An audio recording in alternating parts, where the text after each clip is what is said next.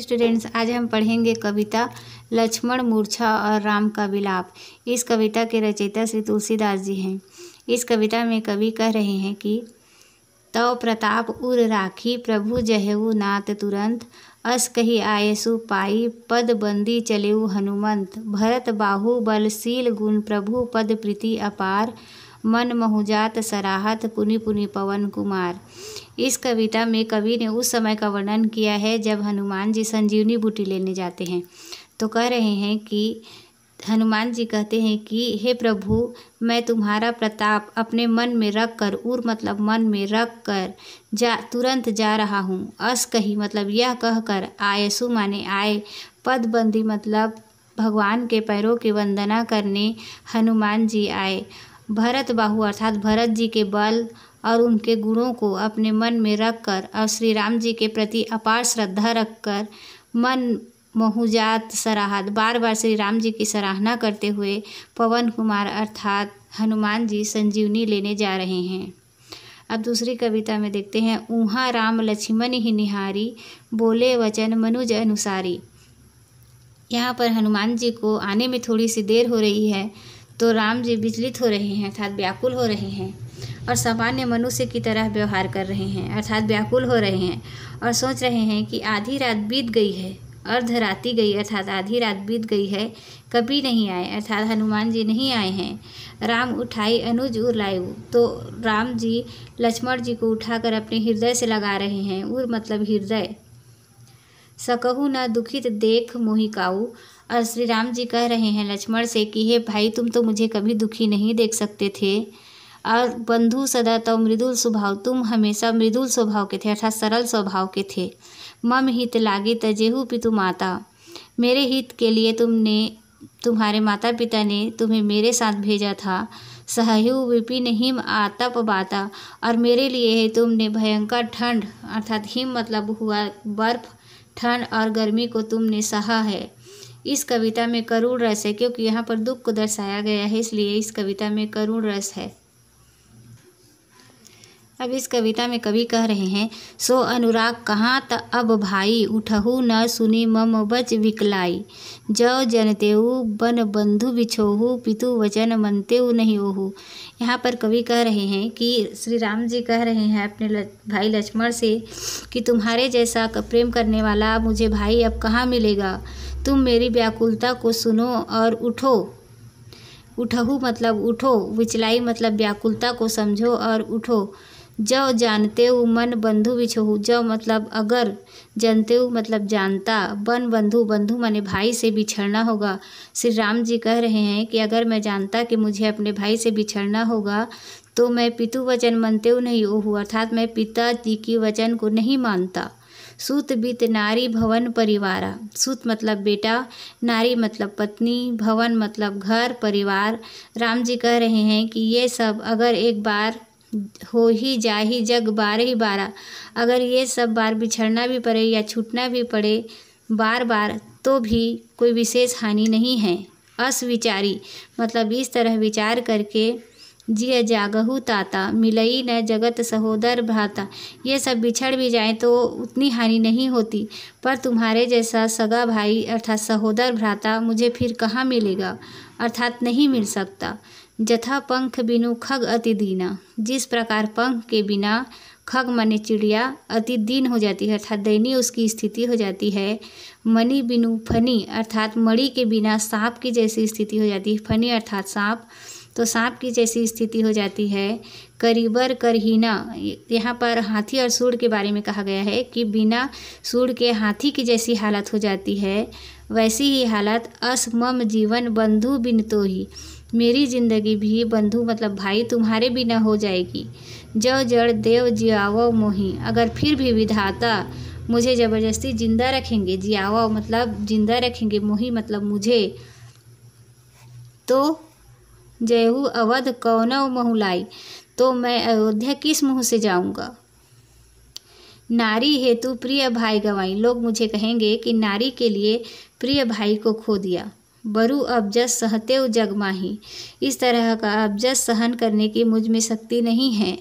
नारी हानि विशेष क्षति नहीं। नारी की हानि अर्थात पत्नी की हानि हो भी जाए तो विशेष क्षति नहीं है। अब अपलोकु सोकु सुत तोरा, सही निठुर कठोर उर्मोरा पत्नी की हानि को मैं तो सह भी लेता, अर्थात शोक सहन कर भी लेता, परंतु मैं अपने मन को कैसे निष्ठुर करूँ कि तो तुम्हारे शोक को सह सके उर मोरा, अर्थात मेरा मन। कैसे कठोर करूँ और तुम्हारे दुख को सह सकूँ? निज जननी के एक कुमारा, तुम अपनी माँ के एक लाडले पुत्र हो, अर्थात लाडले हो। तात तासु तुम प्राण अघारा। और अपने माता पिता के तुम प्राणों के आधार हो। सौंपे से मोही तुम ही गह पानी, सब विधि सुखद परम हित जानी। अर्थात माता पिता ने तुम्हें मुझे सौंपा था, सब विधि सुखद परम हित जानी। अर्थात मैं तुम्हें सुखी रखूँगा, इस विश्वास से उन्होंने तुम्हें मुझे सौंपा था। मैं उन्हें क्या उत्तर दूँ? उतर उतरू काह दयु ते ही जाई। मैं उन्हें क्या उत्तर दूँगा? जब अयोध्या जाऊँगा तो उन्हें क्या उत्तर दूँगा? उठी किन मोह सिखावह भाई। तुम उठो और मुझे यह बात समझाओ। अर्थात राम जी कह रहे हैं कि मैं अयोध्या जाकर क्या मुँह दिखाऊँगा और क्या कहूँगा? तुम उठो और मुझे बताओ। बहुविधि सोचत सोच विमोचन। बहुत प्रकार से राम जी सोच विचार कर रहे हैं और व्याकुल हो रहे हैं और उनकी आँखों से आँसू बह रहे हैं। स्त्रवित माने बहना, सलील, राजीव, दल, लोचन, यह पंख उनके कमल के पंखुड़ी के समान आँखों से आँसू बह रहे हैं। उमा एक अखंड रघुराई, नर गति भगत कृपाल दिखाई। यहाँ पर शिव जी अपनी पत्नी पार्वती जी से कह रही हैं कि श्री राम जी बहुत ही महान हैं और अखंड है। उन्होंने ऐसा उदाहरण प्रस्तुत किया है कि हमेशा लोग उसे याद रखेंगे। नर गति भगत कृपाल दिखाई। उन्होंने एक नर की स्थिति को भली भांति स्पष्ट किया है, अर्थात उदाहरण प्रस्तुत किया है। अब सोरठा में देखते हैं। प्रभु प्रलाप सुनिकान विकल भय वानर निकर। आय गयो हनुमान जिमि करुणा महावीर रस। यह उस समय की स्थिति है जब हनुमान जी वापस नहीं आ रहे थे तो राम विलाप कर रहे थे, व्याकुल हो रहे थे और श्री राम जी की व्याकुलता देखकर वानर भी भयभीत हो रहे थे, डर रहे थे और दुखी हो रहे थे। इसी समय हनुमान जी वापस आए। आई गए ओ हनुमान, तब वापस आए। जिमी करुणा, बह वीर रस तो करुण रस में, अर्थात दुख के जगह पर वीर रस का संचार हो गया। उन लोगों में उत्साह भर गया जब हनुमान जी वापस आए। अब यहाँ से देखिए हर्षि राम भेटियो हनुमाना, अति कृतज्ञ प्रभु परम सुजाना। जब हनुमान जी वापस आए तो राम बहुत खुश हुए और उन, उन्होंने उसे गले से लगा लिया और उनका, उनके बहुत कृतज्ञ हुए। तुरंत वैद्य तब किन्ह उपाय और उस समय जो वैद्य जी थे, अर्थात उस समय के जो डॉक्टर थे उन्होंने उपाय किया अर्थात हनु लक्ष्मण जी का इलाज किया। उठी बैठे लक्ष्मण हर्षाई तो लक्ष्मण उठकर बैठ गए और स्वस्थ हो गए। हृदय लाई प्रभु भेटियो भ्राता। और राम जी ने लक्ष्मण जी को गले से लगा लिया। हर से सकल भालू कपि प्राता। हर से मतलब खुश हुए सकल मतलब सब भालू कपि मतलब बंदर। सब वहाँ पर जो बंदर भालू थे, सभी बहुत खुश हुए। कपि पुनि वैद्य तहाँ पहुँचावा। अर्थात कपि मतलब हनुमान जी वैद्य मतलब वैद्य जी को जहाँ, तहाँ पहुँचाया अर्थात उन्हें जहाँ से लाया गया था, वहीं पहुँचा दिया गया। यही विधि तभी ताही लई आवा, अर्थात जहाँ से लाए थे, वहाँ पहुँचा दिया। यह वृत्तांत दशानंद सुनियो। जब यह वृत्तांत, अर्थात यह बात जब दशानंद तक पहुँची, रावण तक पहुँची, अति विषाद पुनि पुनि सिर धुनियो तो बहुत दुखी हुआ और अपना सिर पटकने लगा। व्याकुल कुंभकर्ण पही आवा, विविध जतन करी, ताही जगावा। तब कुंभकर्ण को कई प्रकार से जतन करके, अर्थात कई प्रकार से कोशिश करके जगाया गया। जागा निशिचर देखा कैसा। तो जब कुंभकर्ण जागा तो दे कह रहे हैं कवि कि उसका शरीर बहुत ही भयंकर था, बहुत काल के स्वरूप जैसे दिखाई दे रहा था। मानहु काल देही दर भैंसा मतलब काल के समान मानहु मतलब मानो कालू मतलब काल के देह माने शरीर, काल के जैसा शरीर दिखाई दे रहा था। कुंभकर्ण बुझा कहू भाई। अब कुंभकर्ण उठने के बाद रावण से पूछने लगा कि कहो भाई काहे तो मुख रहे सुखाई, क्यों तुम्हारा मुख सुख रहा है? कथा कही सब ते ही अभिमानी। यहाँ पर कवि कह रहे हैं कि अभिमानी रावण अपनी पूरी कथा अपने भाई को सुनाने लगा, जे ही प्रकार सीता हरियाणी की, किस प्रकार उसने सीता का हरण किया। तात कपिन सब निशिचर मारे महा महाजोधा संघारे। यहाँ पर अपने भाई को बता रहा है रावण कि किस तरह राक्षस मारे गए और महा महाजोधा संहारे अर्थात महारथी जो बड़े बड़े राक्षस थे और महारथी थे, उनका भी संहार हो गया। दुर्मुख, सुररिपी, मनुज, आहारी भट अतिकाय अकम्पन भारी।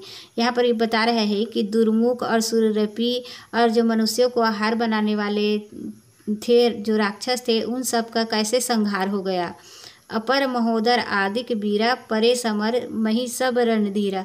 कैसे रण क्षेत्र में, अर्थात जहाँ पर युद्ध होता है, उस क्षेत्र में कैसे बड़े बड़े बड़े बड़े अकम्पन और अतिकाय शरीर वाले राक्षसों का वध हो गया। दोहा में देखते हैं, सुनी दस गंधर वचन, सब कुंभकर्ण बिलखान, जगदम्बा हरि आनी, अब सठ चाहत कल्याण। जब रावण की बात को कुंभकर्ण ने सुना तो बोला कि, व्याकुल होकर बोला और चिढ़ के बोला कि, हे भैया, तुमने जगदम्बा अर्थात सीता माता का हरण कर किया है। तुमने उसे अपने घर हरण करके ले आया है। तो अब तुम कल्याण कैसे चाह सकते हो? अब तुम्हारा कल्याण नहीं हो सकता। तो स्टूडेंट्स, मैंने आपको छोटी छोटी बातों को पूरी अच्छी तरह से समझाने की कोशिश की है। उम्मीद है आपको समझ में आ गया होगा। और अगर हमारे बताने का तरीका आपको पसंद आया होगा तो प्लीज़ लाइक कीजिएगा। और चैनल को सब्सक्राइब भी कीजिएगा। Thank you